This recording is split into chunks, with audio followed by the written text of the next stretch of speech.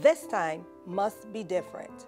I see a lot of fear in the people of the Virgin Islands, whether it's, it's, it's fear from retribution as to who, which candidate they affiliate with, fear of losing the job or, or the jobs or their families losing their jobs, fear of the unknown, what is going to happen next, because our leaders are not telling us. They're not leveling with us.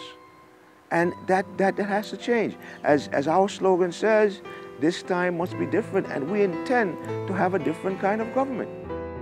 It's about we, the people. Paid for by Pickering Martin Gubernatorial Team.